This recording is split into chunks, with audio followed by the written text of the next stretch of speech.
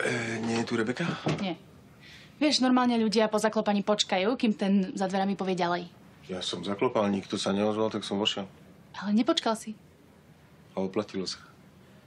V niektorých krajinách by som ťa mohla udať za obťažovanie a vysúdila by som celkom slušné prachy. nie, nie, prosím, neudávaj ma, neudávaj ma, prosím, prepáč, uspravedlňujem sa. V pohode. Vezmi si ponaučenie do budúcna, dobre? Ale zase musíš uznať, že aj slušní chlapci majú svoje poklesky a asi by som bol chorý, ak by si sa mi nepáčila. Takže som si dovolil... Choďte do keľu všetci chlapi už, fakt. Adam, poďme rýchlo k Balgovi na operačku.